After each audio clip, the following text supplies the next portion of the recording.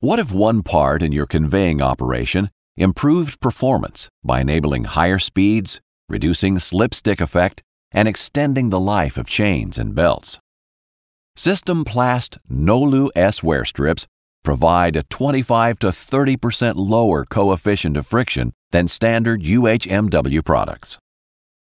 Nolu S is a mixture of UHMW and a unique dry lubricant, creating an industry-leading minimal resistance product.